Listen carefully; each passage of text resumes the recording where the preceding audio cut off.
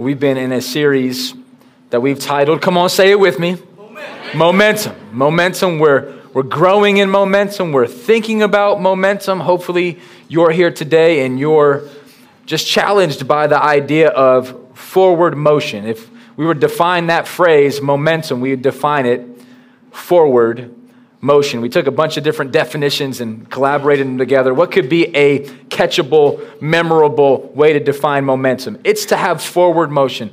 And I was thinking I would hear at least two amens on that from people that aren't going backwards, but people that are going forward. Amen?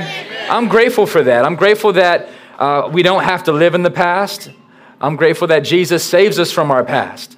And I'm grateful that he moves us in a direction that is forward. We celebrated our seven year birthday at Walk Church recently, and uh, that was the word God put on my heart for this next season is to have forward motion together as a church. We talked about how to have forward motion when it comes to family, family momentum. In fact, join the family session one is starting right now.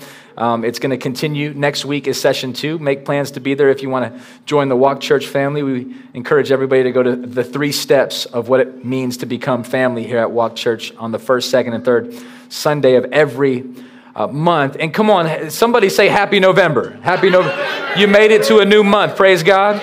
You know, we, we're, we're here. We're excited about that. And we are leaning into this subject of momentum in the past few weeks, we talked about leadership momentum. So, not just being a part of a church family, but being a leader within that church family is a big deal for us. We want to encourage every family member to grow in their leadership. Here at Walk Church, we define leadership with this acronym LEAD, L E A D. L stands for learners. Leaders are learners. We're on this lifelong journey of learning as we follow Christ. Uh, the E stands for excellent, right? That leaders are striving for excellence because God is worthy of our excellence. Daniel had an excellent spirit, and the Lord honored that on his life in Daniel 6. You can read about it. The A stands for aware. Great leaders have great self awareness. Great leaders ask great questions so that they can be better aware. Uh, and finally, the D stands for disciplined. Uh, leaders are disciplined. You can catch up on any of those sermons on walkchurch.com. Click on the sermon button and you'll, you'll be there, or you can check out our Walk Church app and find those sermons there. Well, today, what I want to do is I want to take a quick break in some of what we've been leaning into when it comes to family and leadership. And where we're going is kingdom momentum. But because it's the first Sunday in the month of November, I want to talk about a subject here today that we give treatment to every first Sunday of the month, and that's the topic of communion, the topic of the Lord's Supper. Typically, what we do here at Walk Church is on the first Sunday of the month. That's our rhythm, that's our pattern, is one of our pastors or one of our leaders or somebody within our church will give a devotion uh, on the subject of communion, on what it is and what it isn't, so that as we partake in this beautiful subject, uh, we do it rightly. But today I really felt a burden on my heart to lean in a little bit longer in the, this sermon right here. I want to preach a message to you today that I'm titling, The Blood Has Momentum. Yeah the blood has momentum. I felt like I was strong on this side of the room, but this side of the room was still kind of echoed over. The blood has momentum. I don't tend to hear enough uh, content in our Christianity on the topic of the blood. And I, I'm aware that the blood of Jesus can be a unpopular subject to discuss. Um, or it could be a little bit ambiguous. It may not exactly make full sense. But what I want to do is look at a passage of Scripture, in fact, several passages of Scripture, that my prayer would be that could help us understand the blood better and actually see the forward motion that follows the blood of Jesus. So if you're ready, say ready. ready. Come on, if you're hungry, say let's eat. Let's eat, let's eat. Father, ooh, we are ready to eat today. We came uh, with a good appetite for the word. Uh, God, I pray you would stir us today as we look at your word, read your word. Oh, speak to us, God. Uh, open and transform our minds, renew us, give us renewal.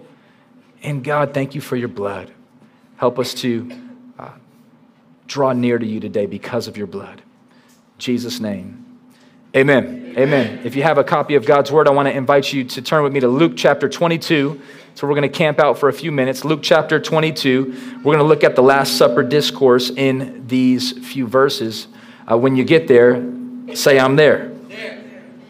If you need more time, say, hold up. Okay, we're going to hold up for you, no problem. Take your time, take your time. If you need a copy of God's Word, just put your hand in the air and we would love to walk you one down. We got some really nice hardback ESV Bibles, which is one I'm using here today. So if you need a Bible, uh, let us bless you with one. We'd be honored to do that. We got a few hands up.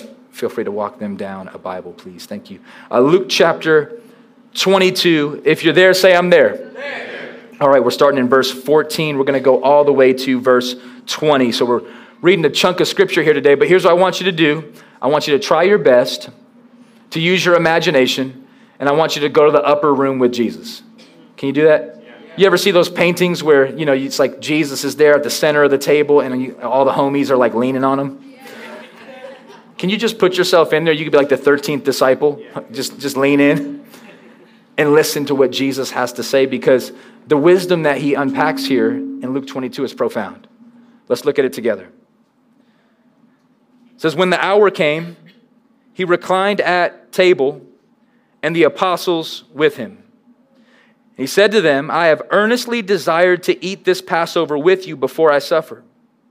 For I tell you, I will not eat it until it is fulfilled in the kingdom of God. Verse 17. And he took a cup, and when he had given thanks, he said, Take this and divide it among yourselves. For I tell you that from now on I will not drink of the fruit of the vine until the kingdom of God comes. And he took bread, and when he had given thanks, he broke it and gave it to them, saying, This is my body which is given for you. Do this in remembrance of me. Verse 20. And likewise, the cup after they had eaten, saying, This cup that is poured out for you is the new covenant in my blood. I want to just go ahead and highlight uh, this phrase, new covenant, for a second. Can everybody just say that with me? Just say new covenant. Come on, say it with me one more time. Say new covenant. I'm going to grab one of these packets right here because I want to talk about the significance, the value, and the momentum that is in my hand right now. What this represents matters. It represents, come on, a new covenant. Jesus does quite a few things in Luke chapter 22. If you look back at verse 14, we'll just pop over uh, uh, to that slide just for a moment. He says, When the hour came, he reclined at table with the apostles with him. And here's what he said. Now lean into Jesus' words here. Note takers, check this out. He says, I have earnestly desired to eat this Passover with you before I suffer. This verse right here is it's so powerful but yet so packaged in there, if you're not careful, you could just drive by it and miss the significance. Jesus is demonstrating his affection. Jesus is telling us about his emotion. Jesus is telling us about his desires. Jesus is telling us about all that went into this moment for it to be so special. And I think if, we, if we're not careful, this can just be another Sunday. But Jesus did not want this to just be another Sunday. I've been watching this documentary uh, on Netflix. It's called The Redeem Team. I don't know if you got a chance to see it. If you're a basketball fan or if you're a Kobe fan like me, it was, it was deep. In fact, I was finishing it yesterday and Nina came down the stairs and I almost was like, go back up. Go back up. It's maybe a tear, it's maybe allergies, I don't know. Um, but it was just so moving to me um, just watching that. And it's, it's really just highlighting this journey from the NBA or the actually the USA Olympic basketball team that lost in 2004 is now making their way to redemption in 2008 and just telling that story in a really profound way. But what was neat is as I was watching it, there's this moment where the Olympic team in 2008 finally makes it to the championship game uh, where they play Spain, who had beat them in the previous years. And it was neat as they introduced, um, interviewed all the different players on the team, they were saying, We were finally there. We had worked for the last four years to get to this game. We had practiced, we had lost the four years previous, and then we just could not stop thinking about getting back to the gold. We had, we had traveled the world, we had did practices all over the place, we had had all these pep talks and all of these moments, but finally it's now here. We are there ready for the game, and we're not going to miss the moment. Why do I show that? I think this is that moment for Jesus. I think Jesus, born of a virgin, Praise God. Is anybody getting excited about Christmas time? I mean, no shade to Thanksgiving, but I'm already getting red and green, all right? I'm already getting pu- pumped up. I'm getting closer and closer to Christmas music on, full blast. I love this season. I love the birth of Jesus. I love the narrative of the Christmas story Mary and Joseph, the wise men, the angels, the animals. It's such a powerful thing. But let me just tell you the reason for the season is not just Christmas, the reason for the season is the blood that Jesus holds. If you just stop at Christmas, you miss the purpose.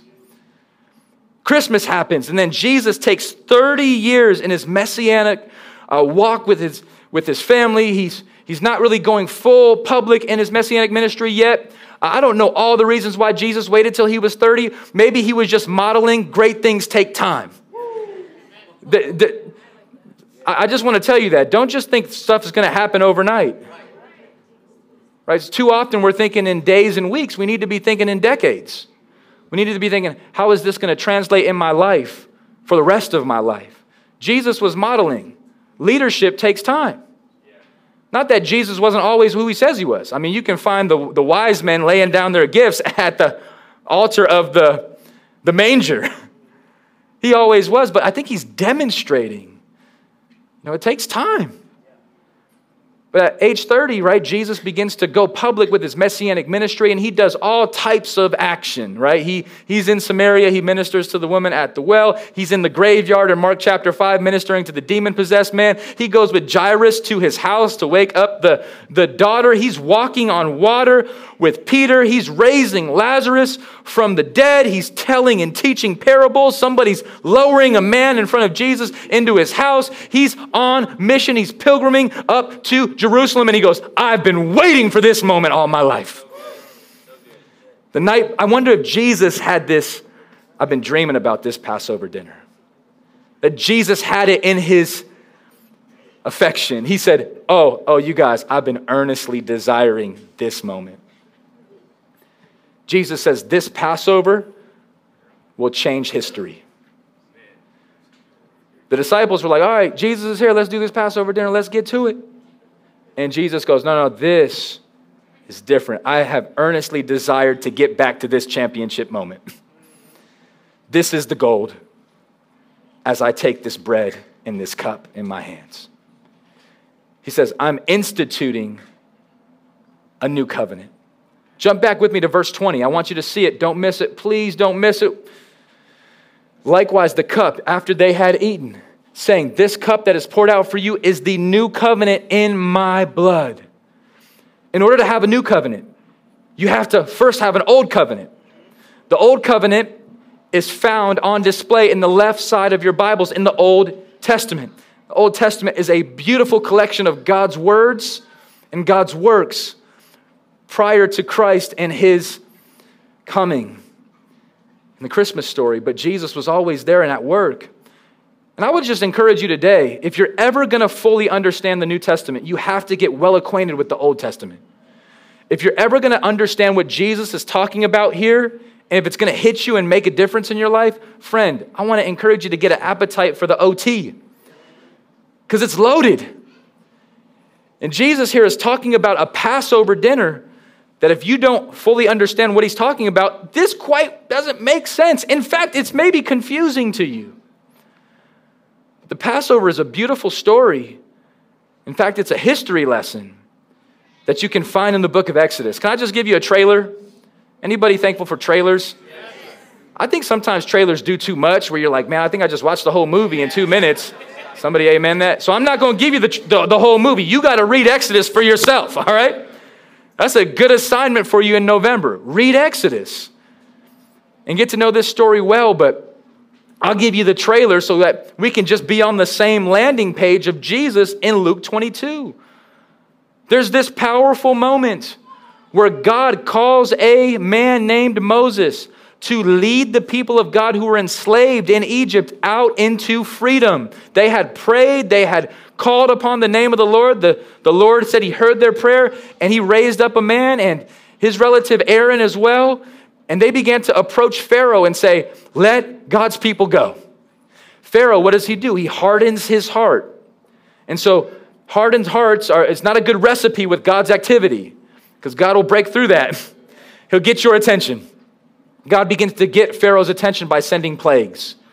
Plague after plague after plague hits the land.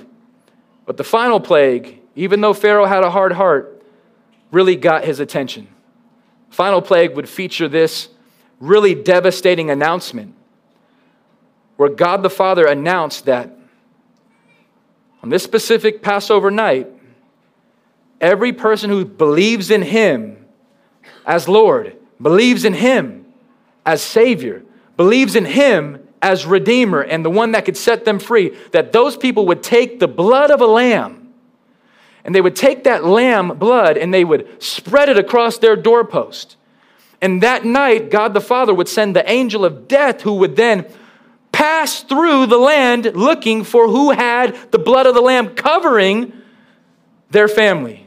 And if you had the blood of the lamb covering you by faith, that death would pass over you. But if you did not have the blood of the lamb, that the firstborn child would then pass away. It was a devastating moment. It was a wake up call for Pharaoh, yet he continued to harden his heart and did not believe. And on that night, anybody who had the blood of the Lamb covering them saw that death passed over, but those who did not have that blood resulted in death. And it was destructive, it was devastating. And Pharaoh woke up at that moment and he said, Okay, you guys just get out of here, go. And it's so neat that in that moment, God began to do a crazy, amazing, grace filled, miraculous work in the people of Israel. And then he, he got them through. He opened up the Red Sea. He moved the people into the promised land, or at least towards that. Uh, they had a few little hiccups along the way of wandering and disobedience. And you can read that in the book of Exodus and Deuteronomy and Leviticus and see the story on display in Numbers. But I just want to encourage you with this God set in place a holiday, He set in place a moment on the calendar where we, as people who are fallen and tend to drift and forget things, that we would remember what he did at the Passover. We would remember how he set in place the blood. We would remember how he passed over individuals. We'd remember how he opened up the sea. We remember the journey of God's miraculous hand. And now Jesus is saying here, I was so excited to eat this. I was so excited to celebrate the Passover because I'm celebrating a new Passover that's actually found in my blood that this blood is not just going to cover the doorpost of your life for this moment. This blood is an eternal blood that's going to lead you all the way to eternity in heaven. This blood, oh, come on, I'll clap with you, sis. This blood right here is a different type of blood. This is the new covenant that's being put into place, where the old covenant was more about our works and our duty and the sacrificial system that was put in place to have a temporary essence of forgiveness was actually foreshadowing what Jesus would do as the real Passover lamb that me and you are de- deeply in need of. This is what he demonstrates here in Luke 22 as he holds up the cup.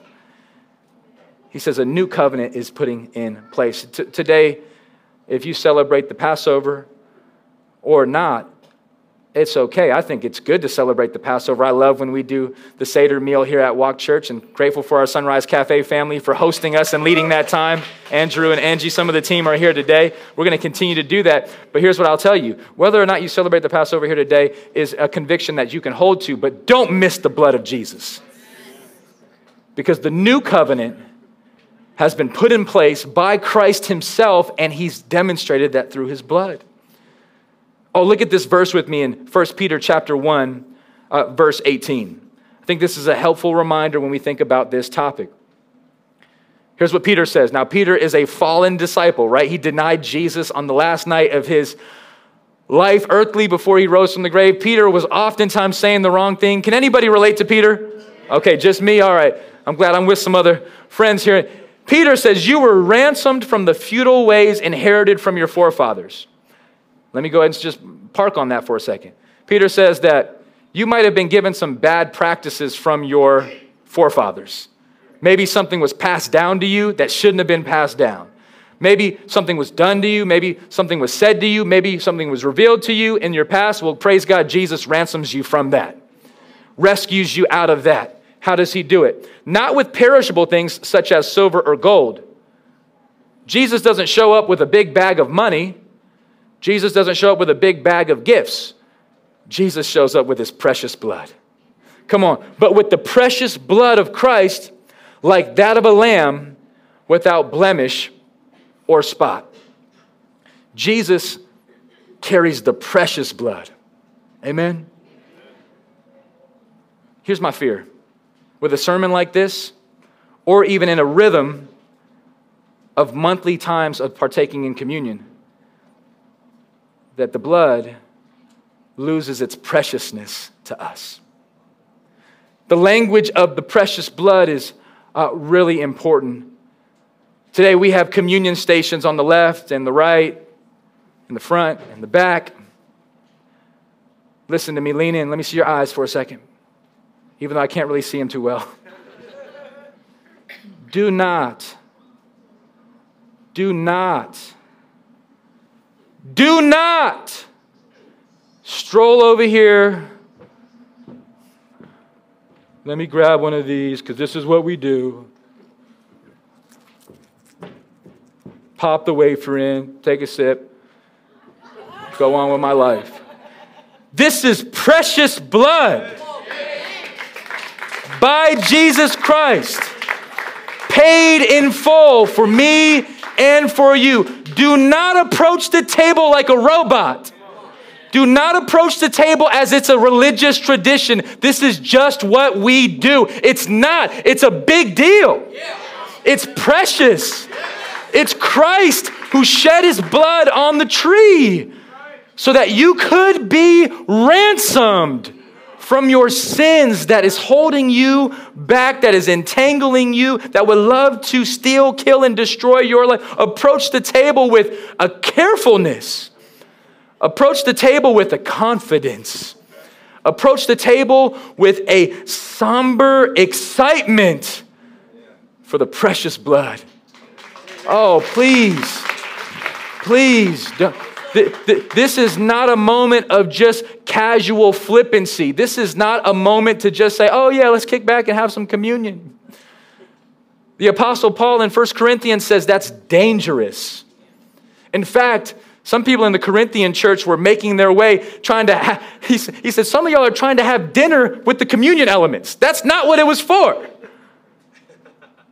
It's like, that's not even a good dinner, by the way. Your purpose was wrong. Some people had even gotten sick. Some people had even passed away from approaching the table with a foolishness, a, a not wise approach to the table. Now, I don't want anybody to be fearful when you approach the table. I want you to know what you're doing. And I want you to have a sense of gratitude and a sense of conviction as you approach the communion table today. Amen? It's a big deal. If you want to have momentum in your walk with Jesus, there's momentum on the blood. The blood has power to ransom, the blood has power to save. This is the, the blood that comes from the Lamb of God who takes away the sin of the world. There's a new Passover lamb in place. Come on, can we just be reminded of John the Baptist's words? John is baptizing, he's preparing the way. We spotlighted John the Baptist recently about our leadership class. He was a man who had awareness. Well, in John chapter 1, Jesus comes up on the scene and John sees him. And what does John say to his disciples? He says, Behold. Come on, right? He saw Jesus coming and he said, Hold up. Behold, the Lamb of God who takes away the sin of the world. I love the exclamation point. John the Baptist was hyped. He got pumped up, amen. Behold, the Lamb of God who takes away the sin of the world. And I wonder if they were like, what's gotten into John? They weren't quite aware of what John saw. Jesus says, I've been waiting for this. Jesus would say, I'm going to die and shed my blood so that my people in Las Vegas and those who are watching online and those who are in the room here today would come to a, knowledge of repentance, turn away from their sins that can't help you anyway, and with forward motion, come to Jesus by faith and say, Jesus, I can't do it in my own works, I can't do it in my own strength, but I can find my confidence in your blood. This is momentum in the blood. John had that, John knew that. This Lamb of God is different from the old lambs. I mean, th- this is the sacrificial system in place, but Jesus is the final and great sacrifice. Look at Leviticus chapter 17. Again, bumping back into the Old Testament, looking into the Le- Levitical law. Verse 11 For the life of the flesh is in the blood, and I have given it for you on the altar to make atonement for your souls. For it is the blood that makes atonement by the life. This scripture, thousands of years before Jesus would step foot on earth, is a foreshadowing of what Jesus would do, amen? On the cross, in the shedding of his blood would make a way for us to have new life. I mean, I want you to try to make this real for yourself. Put yourself in a doctor's office, and the doctor takes your blood and goes off and comes back 15 minutes later, and you sit down in the room, and the doctor says, I have some bad news. You need a blood transfusion in order for you to live. And he says, You need it now and you say, okay, what type of blood do I need? And he says, well, you need blood that is actually really rare. It's holy blood, it's righteous blood, it's sinless blood. It's blood that doesn't come from earth, it comes from heaven. It is blood that is actually only found in God Himself. And you can have that blood, it's in Christ. He, he is the Lamb of God that we, broken sinners in need of a Savior, run into and find rest. Come on and find healing, find momentum in the blood. Amen. I want to give you three points. I'm going to try to make them quick. Three points on how you can find momentum in the blood. Point number one find momentum in the blood because the blood moves our conscience. I hear some snickering. I don't really know what that means. the blood moves our conscience. It's an important point because I think that we don't give enough attention to our conscience. And does anybody ever feel like your mind will play tricks on you? Oh, you feel like your conscience is haunted, your conscience is uh, distorted, or your conscience just doesn't feel like it's right. Let me tell you something the blood moves our conscience. I love these scriptures found in the book of Hebrews. I love the book of Hebrews. It really marries the Old Testament with the New Testament in such a beautiful and poetic way. Look at Hebrews chapter 9 with me just for a moment. We want to look at a few verses of scripture that I think could be helpful. Starting in verse 12. He, Jesus, entered once for all into the holy places.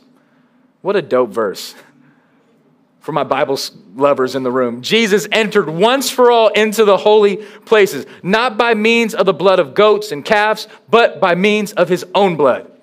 Like Jesus steps into the holy place and they say, Lola, what type of blood you got? He goes, I got my blood. And they go, Yes, sir. that's the only blood that's needed in this case, thus securing an eternal redemption. For if the blood of goats and bulls and the sprinkling of defiled persons with the ashes of a heifer sanctify for the purification of the flesh, this is old covenant language how much more will the blood of Christ, who through the eternal Spirit offered himself without blemish to God, purify our conscience from dead works to serve the living God? Oh my goodness.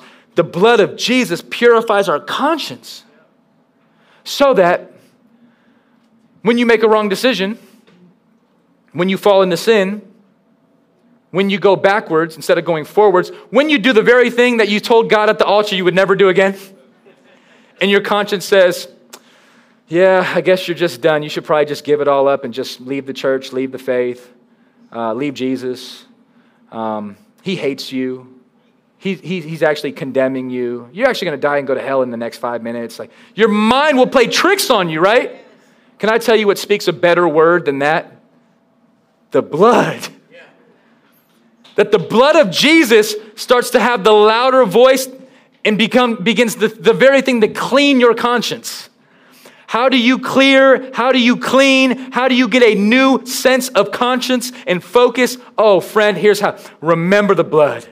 Why do we need to do this? Oh, I need to remember this. Or else my mind plays tricks on me and it says, Heiden, you gotta, you better worship harder. You better pray longer. You didn't read your Bible enough. All of a sudden, I'm back into the old covenant. I gotta do more. I gotta work harder more. And we're so tempted to enter into that. Friend, don't enter into that.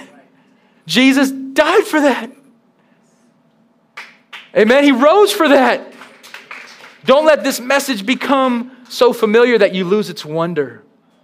I remember talking to a, a, a good friend of mine. Called me up. He's not necessarily a believer yet. But he said, Hey, Pastor Heiden, I got to get to church.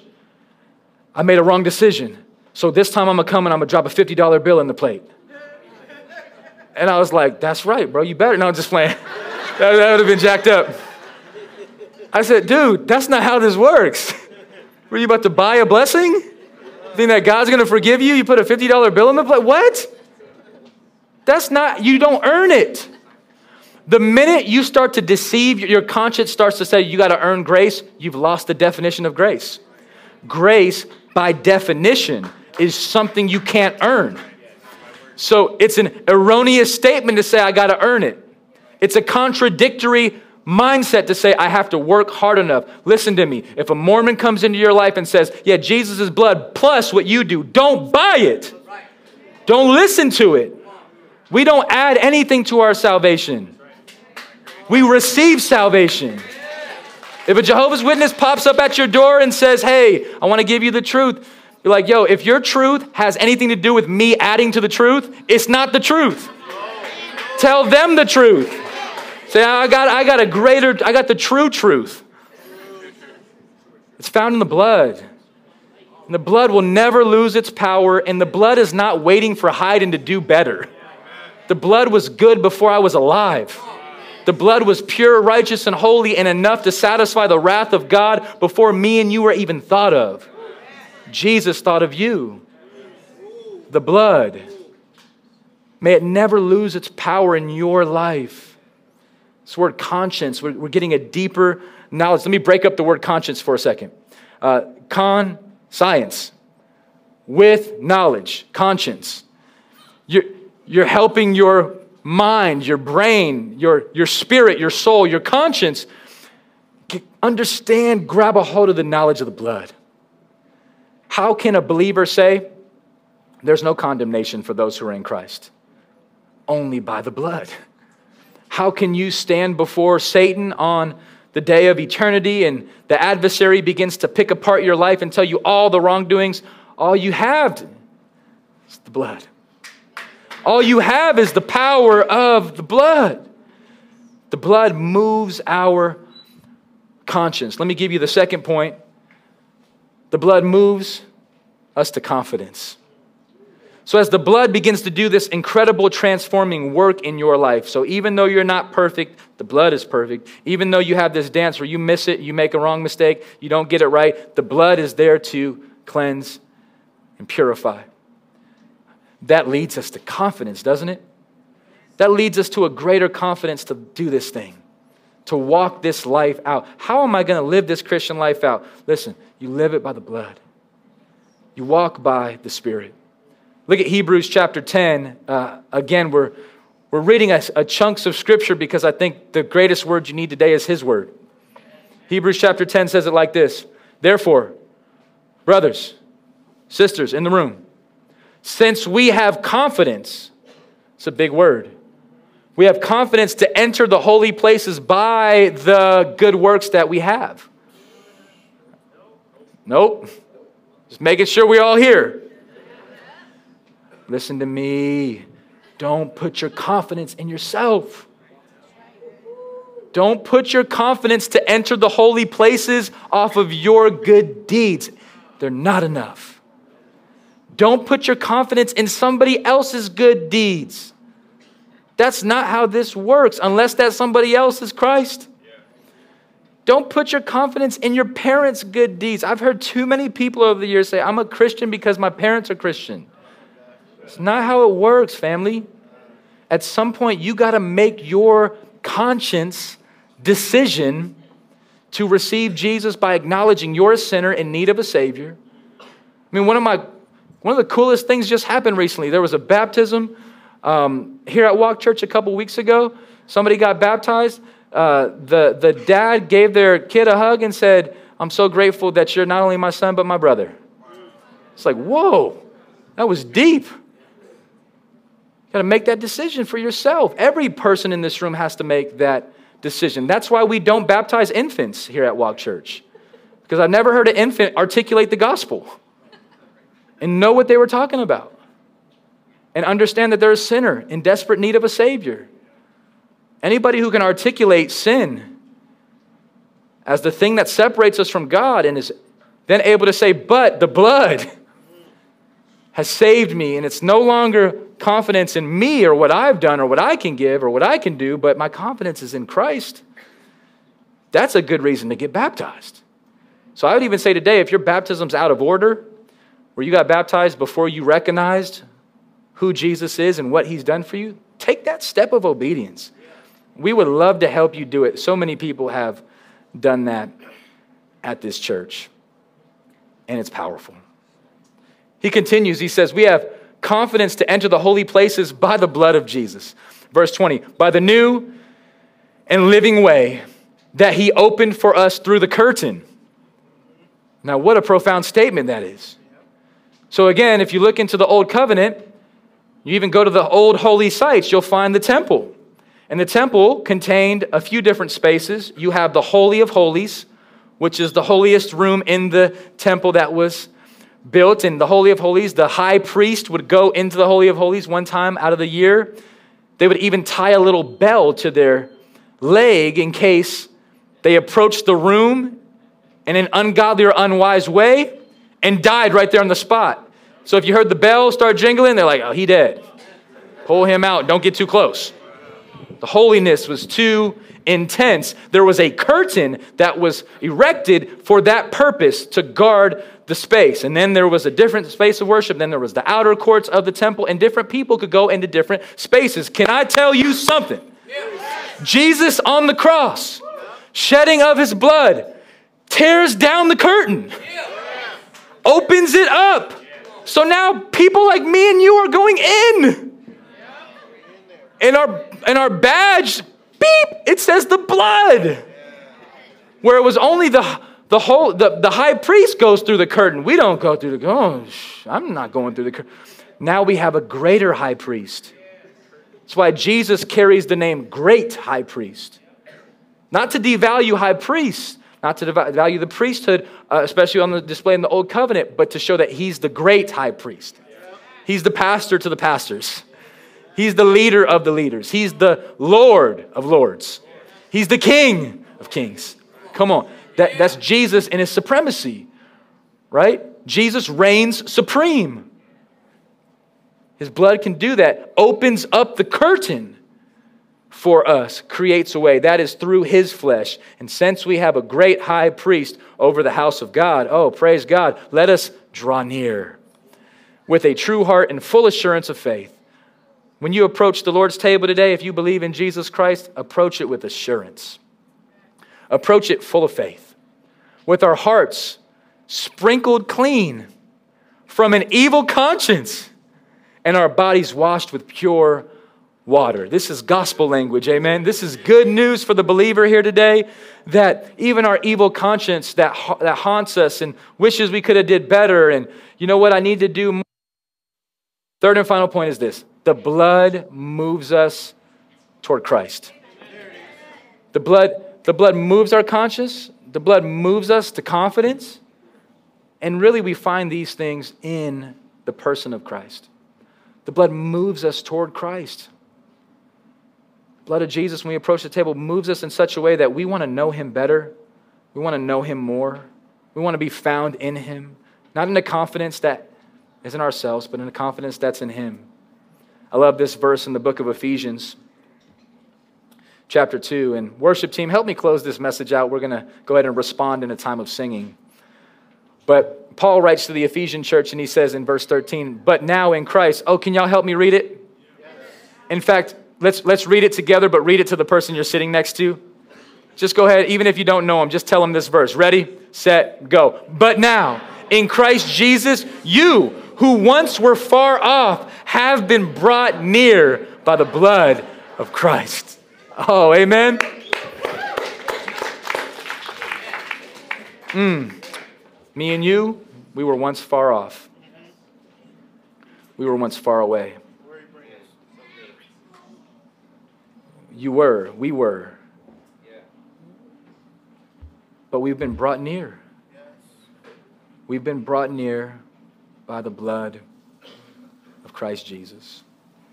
So today I want to invite you to grab one of these packets. They're in the back, left, right, front, down. And I want you to uh, not rush.